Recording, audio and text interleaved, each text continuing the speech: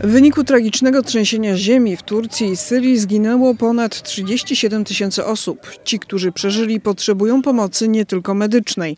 Dlatego dziś wieczorem szóstka wolontariuszy Fundacji Wolne Miejsce z Katowic wyruszy do Turcji, aby zaangażować się w pomoc potrzebującym. Mamy kontakt z naszymi przyjaciółmi z organizacji World Center Kitchen, którzy tam są, czekają na nas, abyśmy mogli ich wspomóc i gotować więcej posiłków. Oni w tej chwili wydają około 7 tysięcy dziennie. My mamy możliwość 1000 porcji codziennie zrobić zupy, plus około 2000 porcji takich grillów e, różnego rodzaju e, dobrych, ciepłych posiłków, plus kawa, herbata.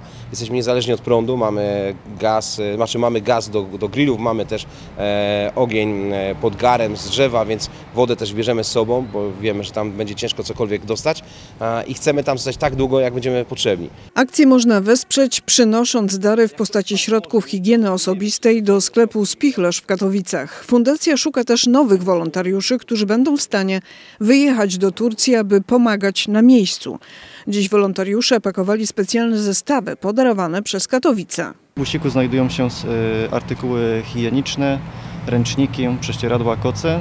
Coś, co będą rozdawane dla osób potrzebujących, a na przyczepce mamy y, pomoc y, żywnościową, To nie pierwszy raz, kiedy Wolne Miejsce angażuje się w pomoc w sytuacji kryzysowej w innym kraju. Po wybuchu wojny w Ukrainie wolontariusze fundacji wyruszyli do Medyki, gdzie udzielali pomocy ofiarom rosyjskiej agresji. Wolontariusze, którzy tam gotowali, naprawdę e, mieli ciężko, było zimno, a oni mimo wszystko gotowali dla tych osób.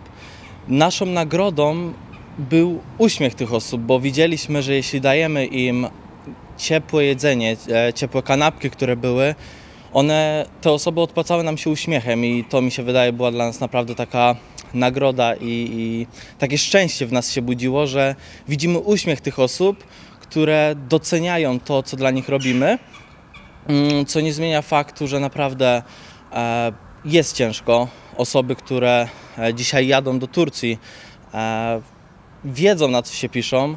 E, Są to naprawdę osoby też o mocnej psychice. Fundacja Wolne Miejsce chce jechać również do Syrii, gdzie także potrzebna jest pomoc. W tym momencie granice tego kraju są jednak zamknięte.